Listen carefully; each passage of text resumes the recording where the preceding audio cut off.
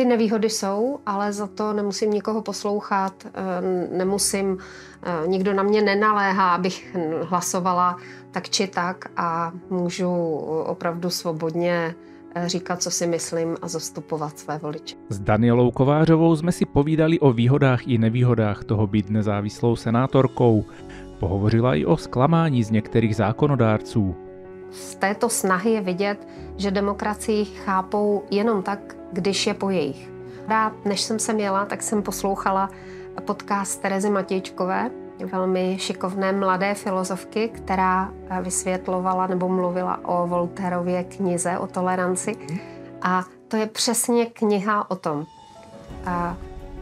že možná se máme víc učit toleranci a pochopení, že lidé můžou mít i jiné názory. Mluvili jsme také o kvalitě zákonů a jejich nepřeberném množství, a tedy i o otázce, zda lze ještě v dnešní době aplikovat zásadu neznalost zákona neomlouvá.